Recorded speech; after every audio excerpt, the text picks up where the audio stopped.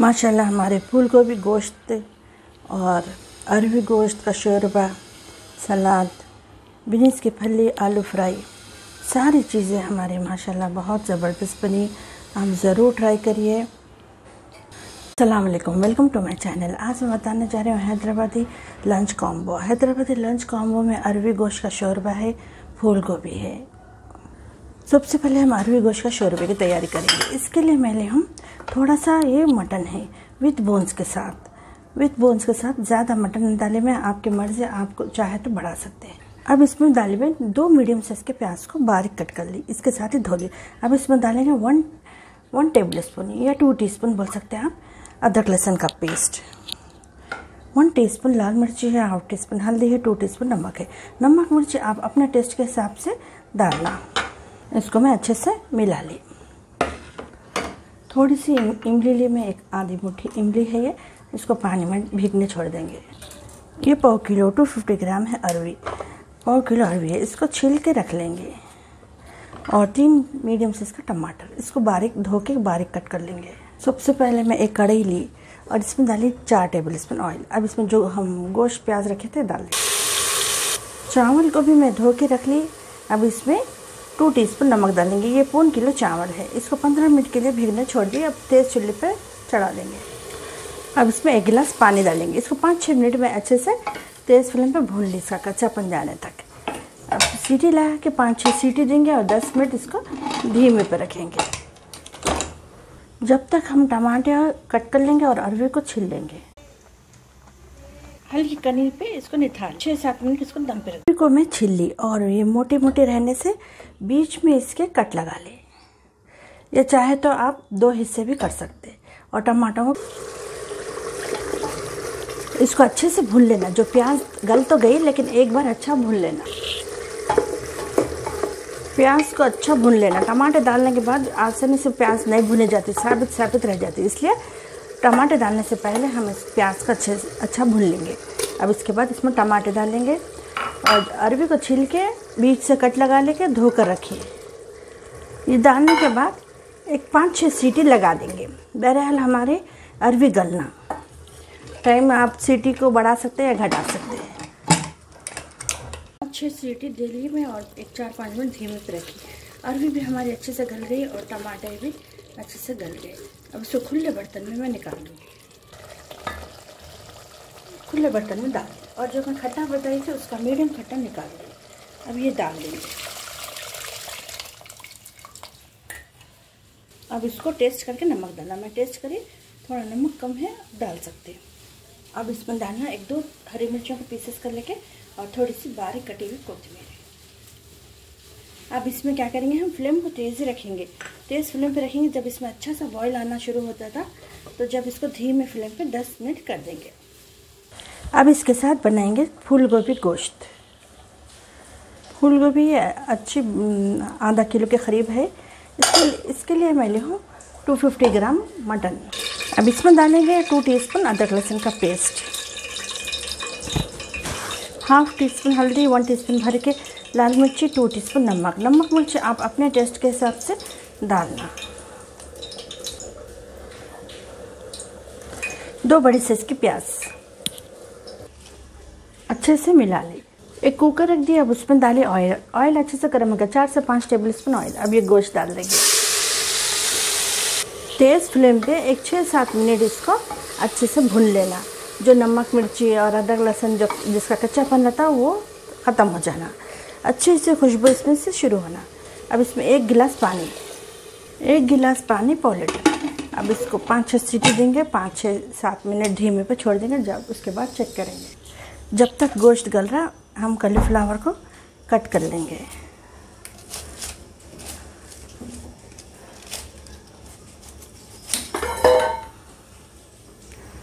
इससे कौन पत्ते भी मोटे मोटे कट करके हम डाल देंगे।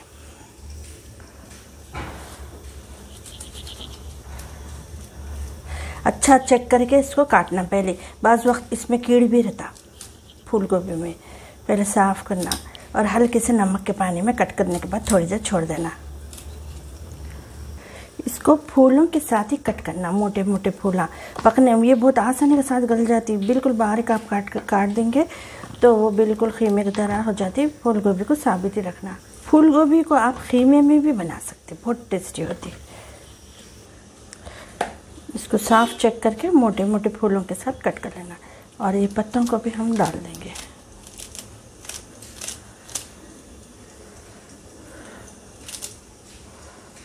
अब इसमें डाल देंगे टू टीस्पून नमक।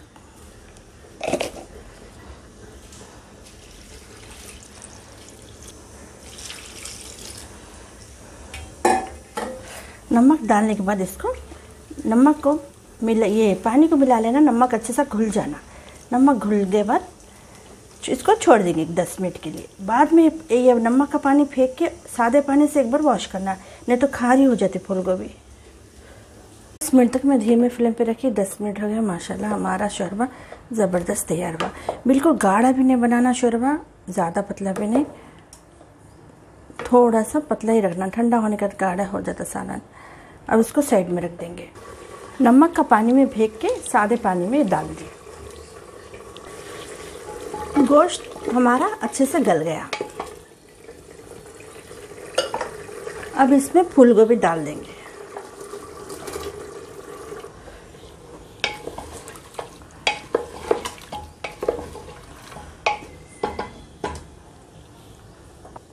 अब इसका ढक्कन लगा देंगे, सिर्फ़ एक सीटी होने देंगे। एक सीटी से ज़्यादा नहीं। एक सीटी दी, अब इसको हम खुले बर्तन में निकालेंगे। अब इसको खुले बर्तन में मैं निकाल ली और इसका पानी है, इसको तेज़ फ्लेम पर रख के सुखा लेंगे। बस एक ही सीटी दी मैं।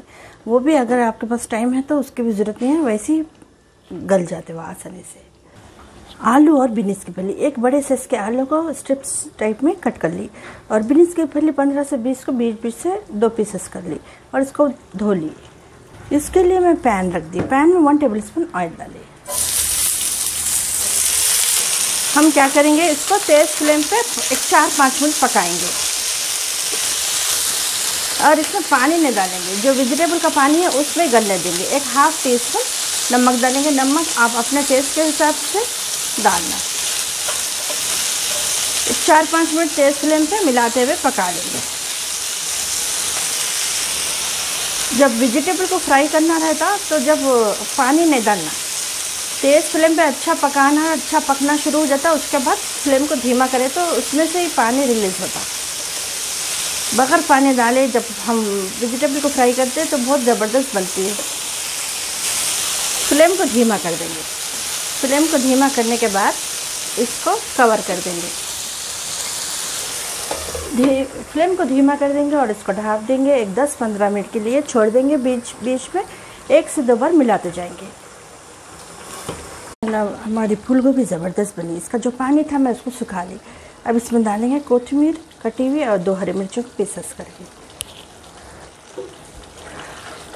पानी बिल्कुल ड्राई नहीं करेंगे थोड़ा सा इसको लूज़ रखेंगे, बिल्कुल हल्का सा इसका जो ग्रेवी है, जो मसाला है फूल गोभी के साथ बहुत टेस्टी दिखता। है आप चावल के साथ भी खा सकते इसको।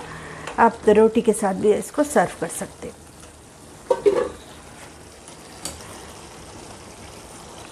फ्लेम को बंद कर देंगे। फ्लेम को बंद करके इसको साइड में रख देंगे। ये टाइम आप टेस्ट करके नमक कम है तो डाल सकते हैं। दस पंद्रह मिनट के लिए मैं इसको धीमे फ्लेम पे रखी थी और बीच बीच में इसको चेक करते गए इस फली भी हमारी अच्छे से गल गई और आलू भी इसके गल गए। थोड़ा सा इसमें डालेंगे हल्दी। हल्दी डालने के बाद इसको फ्राई करेंगे।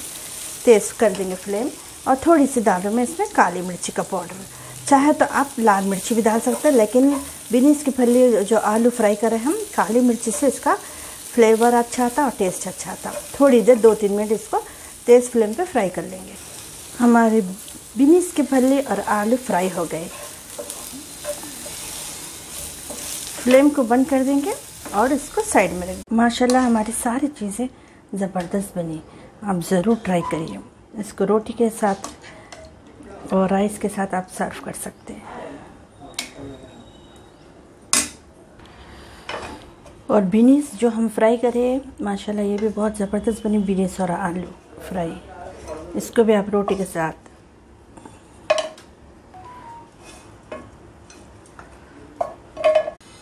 माशाल्लाह हमारे फूल गोभी गोश्त और अरवी गोश्त का शोरबा, सलाद, बीन्स की फली, आलू फ्राई, सारी चीज़ें हमारे माशाल्लाह बहुत ज़बरदस्त बनी। हम ज़रूर ट्राई करिए। चलिए, मेरी रेसिपी मुकम्मल हो चुकी है। आपको पसंद आए तो प्लीज़ लाइक शेयर सब्सक्राइब कीजिए। शुक्रिया। अल्लाह हाफिज़।